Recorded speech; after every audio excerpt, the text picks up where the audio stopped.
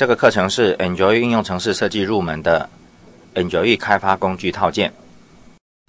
在这个课程当中，讨论到的主题有下载与安装、设定 Android SDK 资料夹、Android 开发工具套件。在你安装好 Java SE JDK 还有 Eclipse 之后呢，其实你就可以开始用 Eclipse 来开发各种不同的 Java 应用程式了。不过在我们之前有提到。Android 呢为 Eclipse 特别设计一个外挂的一个套件，在安装这个套件之后，使用 Eclipse 来开发 Android 应用程式会变得方便很多。透过 Eclipse 它的一些内建的功能呢，可以在 Android 提供的这个专用的伺服器下面下载与安装。所以接下来我们要为 Eclipse 呢来执行安装 Android 开发工具套件的动作。而在 Android 这边呢，它特别提供一个叫做 dl-ssl 点 google 点 com 斜线 Android 斜线 Eclipse 这个网址呢，在我们待会在执行安装的时候呢，会使用到这个网址。Eclipse 呢是一套非常灵活而且好用的一个开发工具软体，你可以按照你自己的需要安装不同的开发工具套件。要安装这些套件的话呢，你要选择 Help。Install new software。那我们这边呢，安装的是一个全新的一个伺服器，所以呢，你这边要选择 Add 按钮。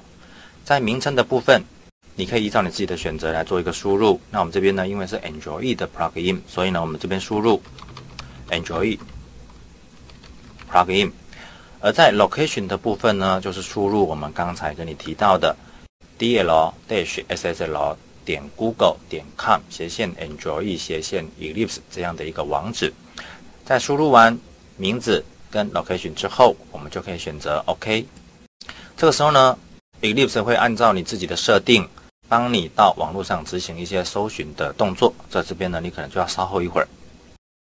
等待 Eclipse 呢从这个伺服器下载相关的资讯之后呢，它会把这个网站所提供的相关的一些 plugin 的一些开发套件的资讯呢下载下来。你可以稍微在这边呢把它展开来稍微检视一下。不过呢，这边呢我们会建议你直接就不用特别做一些选择，直接把它全部勾选，表示呢你要下载这个 Developer Tools，也就是呢我们九亿专门为 Eclipse 所提供的这个开发的套件呢，把它全部安装到这个 Eclipse 当中。那在勾选之后呢，我们就选择 Next。在这个画面当中呢，Eclipse 会稍微跟你确认一下，就是呢你选择了哪些项目。在看完之后呢，我们可以选择 Next，再进行下一个步骤。那在这个步骤当中呢，它会有一些简单的一些版权授权同意的声明。那我们当然就选择接受以后按 Finish。那按下 Finish 之后呢，Eclipse 这套软体呢会自动从你刚才指定的这些伺服器的资讯。还有呢，你勾选的选项呢，自动从我们这个网页上把需要的这些套件下载下来。你可以在这个视窗当中呢，按下 Details，可以看看它目前正在帮你做哪些工作。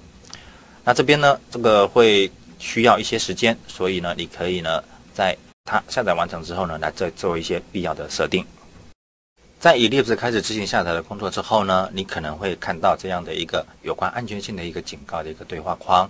那我们这边呢，就直接选择 OK，让它继续下载的动作就可以了。在它下载完成之后呢，它会要求你重新启动这个 Eclipse 这个开发工具，我们就选择 Restart Now 这个按钮。那 Eclipse 呢，会把原来的这个开起来的这个视窗画面呢，把它关掉，然后呢，再执行重新启动 Eclipse 的动作。那到目前为止呢，重新启动完成之后，那就表示呢，我们已经把这个 Eclipse 专用的这个 Android 的开发工具套件的 plugin 呢，已经安装在 Eclipse 当中了。再从前面安装 Java SE JDK，还有 Android SDK，还有下载与安装 Eclipse 跟它的套件之后呢，现在就是最后一个步骤了，我们要帮 Eclipse 呢设定一个 Android SDK 的资料夹。你可以回到刚才开启的这个 Eclipse 的这个软体当中，然后呢，我们同样要执行一些设定的动作，所以呢，一样是从 Windows 的功能表，再到 Preference 的这个选项。那在你安装好 Android 的相关的一个套件之后呢，其实在选项这边你就可以留意到有多了一个 Android 的目录了。那你这边呢，Android 的目录把它点选进来。那在这边呢，你要做一个最基本也是最重要的一个设定了，也就是你之前下载的 Android SDK 所解压缩的这个资料夹的位置。而在目前呢，这个 SDK 的 location 这个栏位它是空白的，所以呢，你在这边一定要帮我们执行选择 Browse，直接用这个来做一个选择。那看看你呢，把这个 Android 的 SDK 放在哪里？那我们刚才呢是放在 C 的这个 Android dash SDK dash Windows 这个资料夹下。所以在我们选择之后，按确定，它就会帮我们把它设定在这个 SDK 的 location 这个栏位当中了。那执行完这个最后的设定之后呢，我们就可以按 OK，把这个选项给储存起来。那它这边呢可能会有出现一些警告的一些提示的一些画面，我们这边可以不用管它，可以直接按 OK 把它关掉就可以了。这样呢就完成我们所有的相关的一个设定了。重点复习：下载与安装。在开始开发 Android 应用程式之前，你必须为 Eclipse 安装好 Android 的开发软体套件，设定 Android SDK 资料夹。在安装好 Android 的开发软体套件之后呢，你必须设定好 Android SDK 资料夹的位置，它呢才可以正确的运作。